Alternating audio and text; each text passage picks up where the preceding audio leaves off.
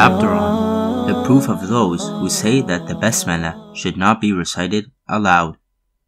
Muhammad bin Ja'far narrated from Shu'bah who said, I heard Qatada narrate that Anas said, I prayed with the Messenger of Allah, peace be upon him, and with Abu Bakr, Umar, and Uthman, and I did not hear any of them reciting Bismillahir Rahmanir Rahim.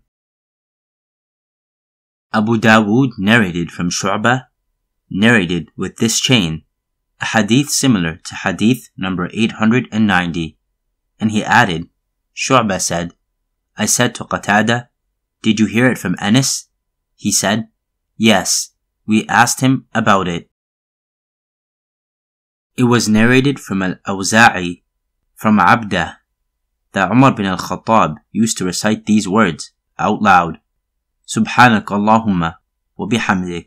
وتبارك اسمك وتعالى جدك ولا إله غيرك Glory and praise be to you, O Allah, blessed be your name, and exalted be your majesty, and there is no God but you. And, from Qatada, that he wrote to him, informing him that Anas bin Malik had narrated to him, I prayed behind the Prophet, peace be upon him, Abu Bakr, Umar, and Uthman. they used to start their recitation with Alhamdulillahi Rabbil Alameen. All the praises and thanks be to Allah, the Lord of the Alameen, mankind, jinn, and all that exists.